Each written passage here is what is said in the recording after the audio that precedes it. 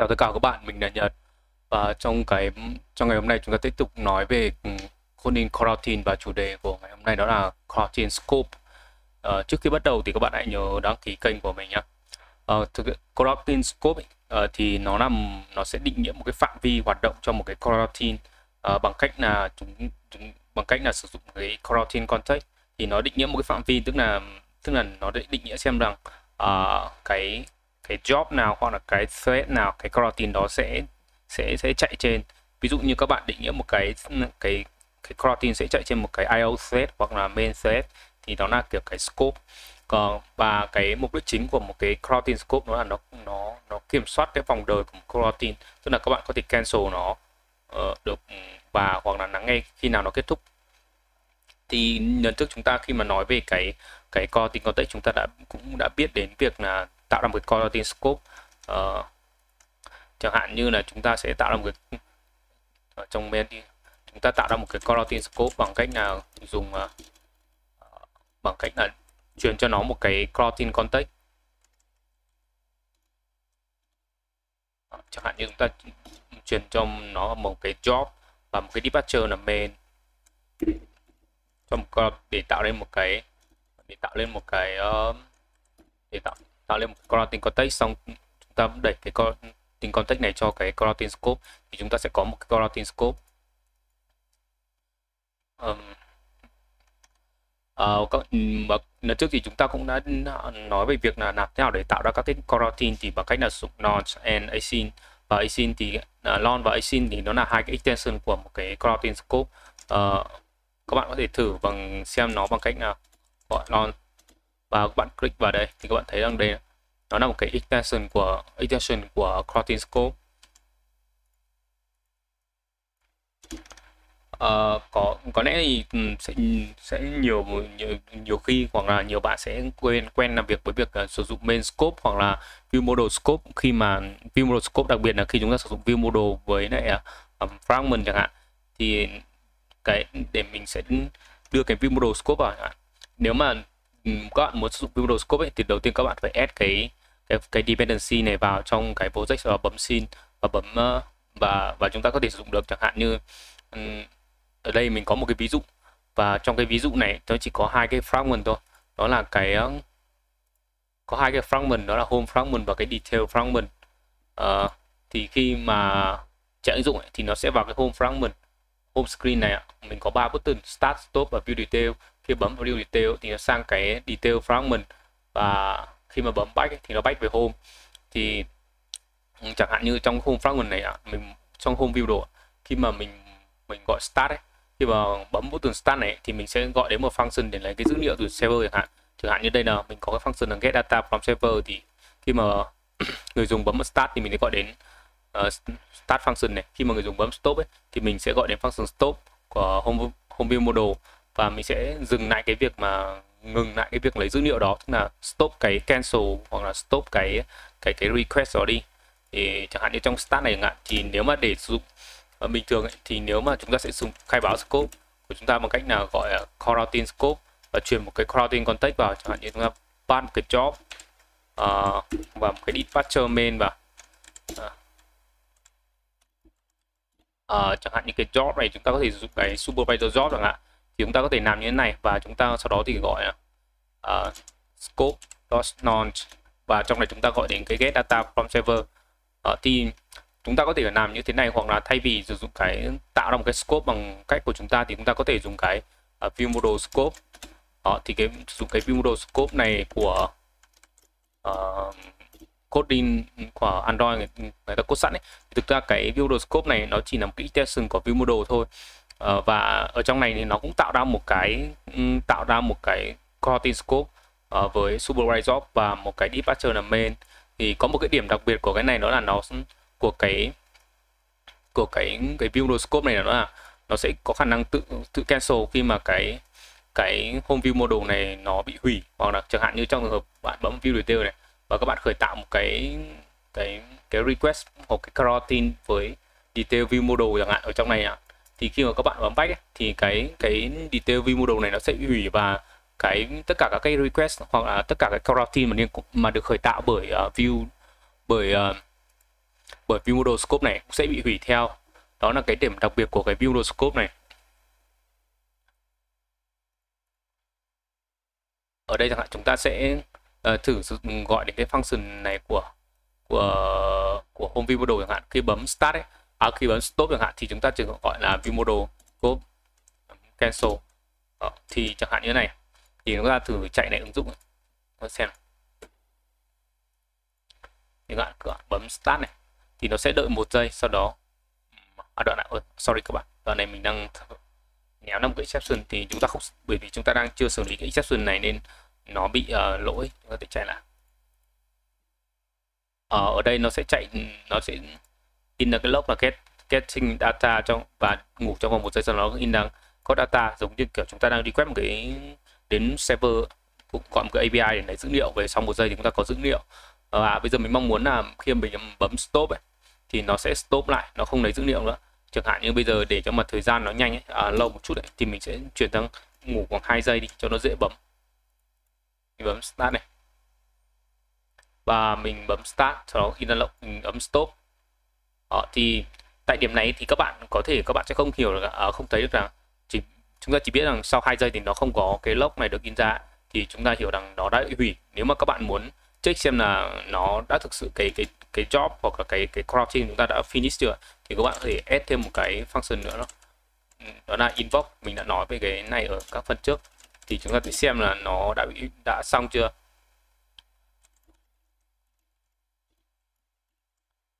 Chúng ở tại điểm này chúng ta không cần check exception nữa mà chúng ta chỉ cần uh, check check xem nó đã hoàn thành chưa. Job finish. Và chúng ta không quan tâm đến cái exception kia nữa. Uh, chúng ta chạy lại này. bấm start này. À, bấm stop này và job finish. Đó, thì tại cái điểm này thì chúng ta đã đã cancel được cái cái request đó. Nhưng mà bây giờ mình mong chúng ta mong muốn rằng khi mình chúng ta click vào cái start button này thì chúng ta hoàn toàn có thể chạy lại được đúng không? Có thể request tiếp.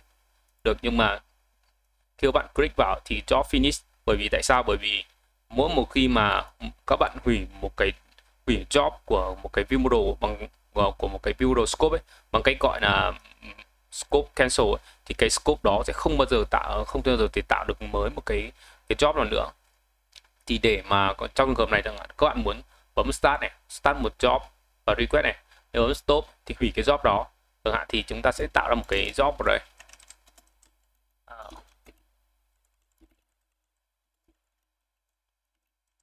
Và mỗi khi mà bấm stop ấy, thì chúng ta sẽ hủy chính xác cái job đấy. Và tại điểm này thì chúng ta sẽ lắng nghe sự thay đổi của cái job này. Thay ở tại cái function stop này thay vì gọi view model uh, view model cancel thì chúng ta gọi job cancel. Rồi chúng ta sẽ chạy nữa khi mà bấm start này thì ờ, bấm stop này job finish này bây giờ chúng ta bấm start này nó vẫn có thể start lại start được và chúng ta vẫn nhận được dữ liệu. Đó đó là phần đầu tiên của cái khi mà chúng ta nói về cái view model scope và cái scope đặc tính của scope là khi các bạn cancel nó đi thì các bạn sẽ không khi lúc bạn không thể tạo lại được cái một cái coroutine mới cho nó nữa.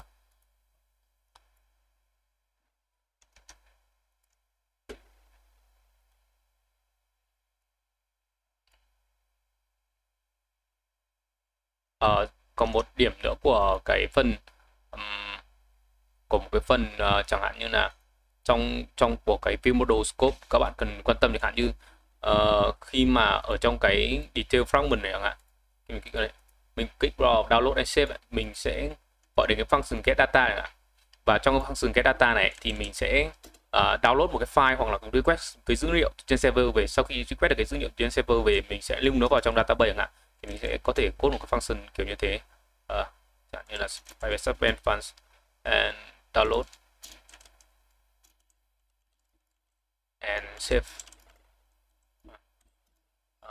uh, chúng ta in một uh, chúng ta in. Start.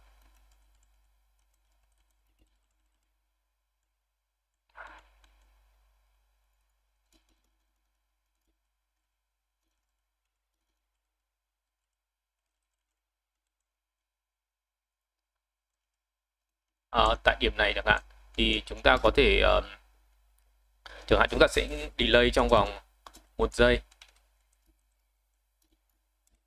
À, quá, quá trình này chúng ta có thể minh họa cho việc là chúng ta đang gọi đến một cái API này, gọi đến một cái call API đi.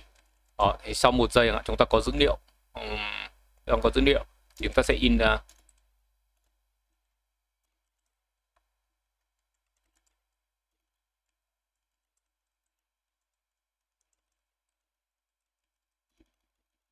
Sau đó thì sau khi có dữ liệu thì chúng ta sẽ lưu cái dữ liệu đó vào trong database chẳng hạn. Chẳng hạn như chúng ta code tạo ra một cái function khác. cfdb ờ, và trong function này chúng ta sẽ uh, delay trong khoảng uh, đầu tiên chúng ta sẽ delay trong khoảng 2 giây đi. Uh, thì sau đó chúng ta in cái log là chúng ta đã xếp thành công đã lưu được cái dữ liệu đó vào trong db thành công.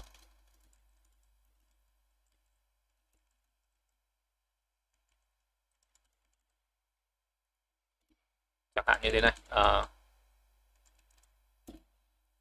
và trong cái function get data này ạ, chúng ta sẽ gọi sử dụng cái view scope nonce và gọi đến cái download and download and save. Ờ, Đó ta sẽ chạy lại chương trình này. À, bấm start này. Bấm view and detail này bấm download and save à, download này cái data from server này. Save to database success này.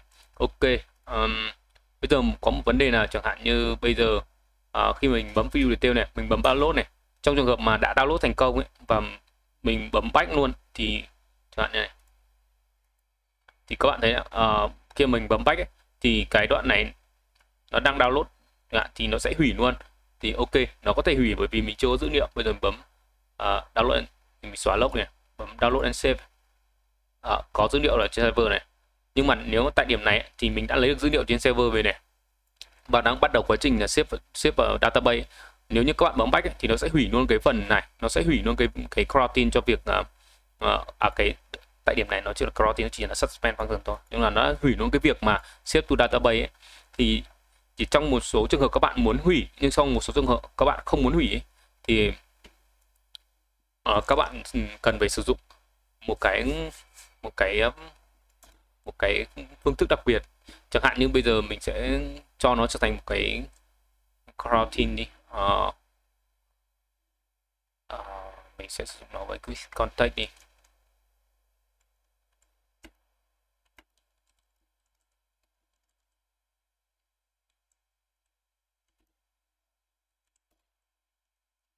Cả hai cái này sẽ chạy trong departure IO ok ta sẽ thử lại nhé à,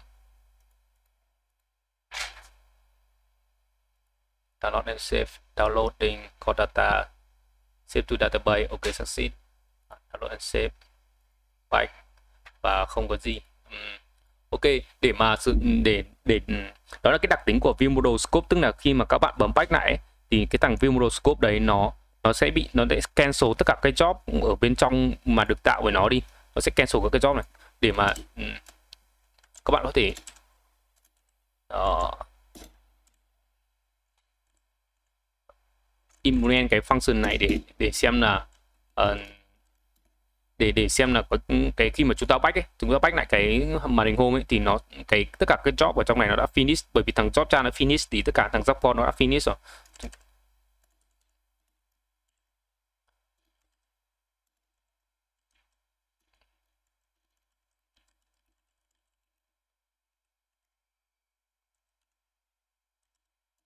Có thể trường hợp là thì uh, ờ, đây mình sẽ cài đặt luôn cho cả hai trường hợp đó là thành công hoặc không thành công đi. Chúng ta chỉ bởi vì trong trường hợp là chúng ta chỉ muốn xem rằng cái uh, cái job này cái parent job này nó đã finish này chưa rồi vì detail download and save uh, trong trường hợp download bình thường uh, chúng ta đợi um, kết quả xử lý này uh, save data chúng ta xịt về này. Ok xong. Uh, job job um, cái data finish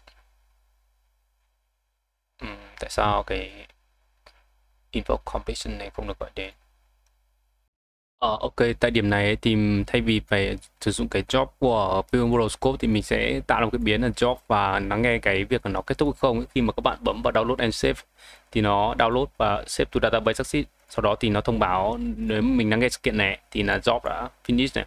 Bây giờ chẳng hạn bây giờ đang mình sẽ làm cái trường hợp đó là khi mà mình đang vừa download xong ấy, thì mình bấm back, mình back, back trở lại cái màn hình home ấy thì chúng ta sẽ xem thử nhé.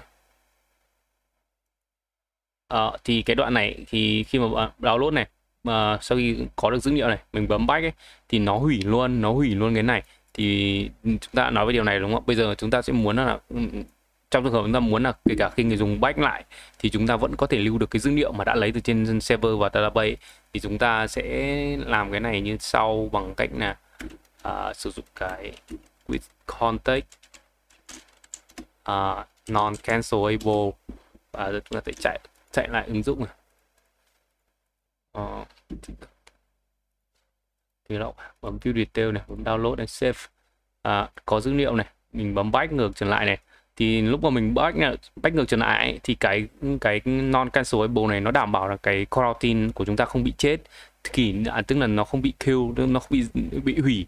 Chỉ khi nào mà nó hoàn thành xong cái nhiệm vụ của nó thì à, nó mới ừ, ừ, thì thì nó mới bị hủy. Và lúc đấy thì cái thằng job cha của nó thằng job cha của nó mới hoàn thành.